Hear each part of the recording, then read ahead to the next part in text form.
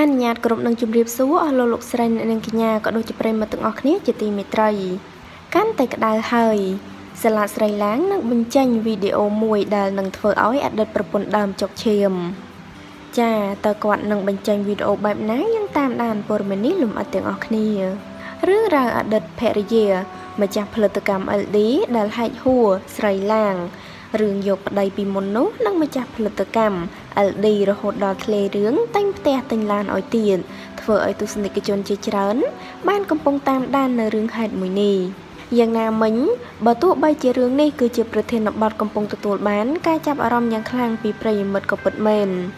តែគេមិនទាន់ឃើញការប្រតិកម្មឬការបកស្រាយពីតារាសម្ដែងស្រីសាឡាស្រីឡាងនិង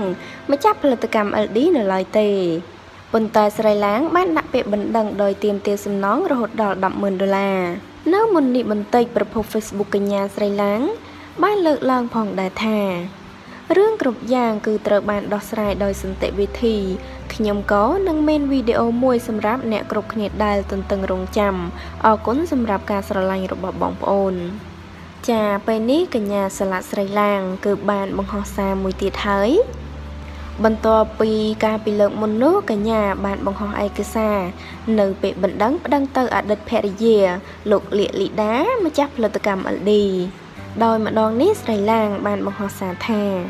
រឿងគ្រប់យ៉ាងគឺនឹងត្រូវបានដោះស្រាយដោយសន្តិវិធីខ្ញុំក៏នឹងមានវីដេអូមួយសម្រាប់អ្នកទាំងអស់គ្នាទន្ទឹងរង់ចាំអរគុណសម្រាប់ការស្រឡាញ់របស់បងប្អូន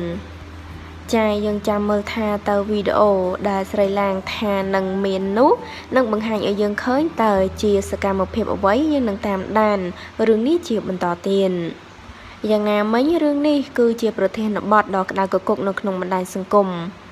កំពុងតែមានការ like និង share ក៏ដូចជា ប្រតិកម្មបញ្ចេញមតិផ្សេងៗគ្នាជាច្រើនផងដែរ ចាហើយតកតងនឹងព័ត៌មាននេះដែរក៏សូមបញ្ចប់ទៅត្រឹមនេះអរគុណបងប្អូនទាំងអស់គ្នាកុំភ្លេចចុច Subscribe និងរូបកណ្ដឹងដើម្បីទទួលបានព័ត៌មានថ្មីៗក្តៅៗជាបន្តទៀតសូមអរគុណសូមគោរពលា